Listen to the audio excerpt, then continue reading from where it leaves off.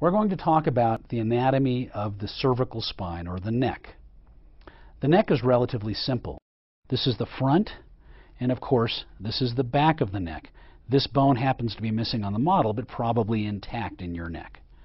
The cervical spine is essentially a series of vertebrae separated in the front by the disc. The disc is the shock absorber. It allows impact and it absorbs shock and it allows motion. In the back of the spine, we have these paired joints. These joints guide the motion of the spine forward and backward and side to side.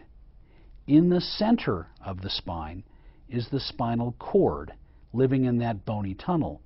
And at each level, in between the vertebra, a nerve exits and either runs down your shoulder and arms or runs up the back of your head. And these, of course, innervate or go to the muscles and the skin and give you sensation, give you position sense, and also give you motor strength. This is a close-up of a model of the cervical spine, and it demonstrates the nerve hole that the nerve exits out of. You'll see that when you bend backward, that nerve hole actually gets smaller, and when you bend forward, that nerve hole gets larger. That's important if you have either a bone spur or a disc herniation. You won't want to bring your neck back because that'll hurt your neck, shoulder, and arm. You'll want to keep your head a little bit forward. It also works with lateral bending. If you bend away from that side, the nerve hole opens up, and if you bend toward that side, the nerve hole gets smaller. So lateral bending to the side will cause more pain. Lateral bending away from that side will cause less pain. Another important aspect of the cervical spine is the spinal canal itself, where the spinal cord lives.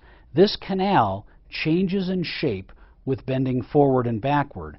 And if you'll see, when you bend forward, the spinal canal actually enlarges by about 30%, and when you bend backward, the spinal canal narrows. This is important if the spinal canal is crowded by a disc herniation or by a bone spur. If you happen to have a blow to the head driving the head backward, that can cause compression of the spinal cord and an injury. Conversely, bending forward tends to open the canal and relieve the pressure on the spinal cord.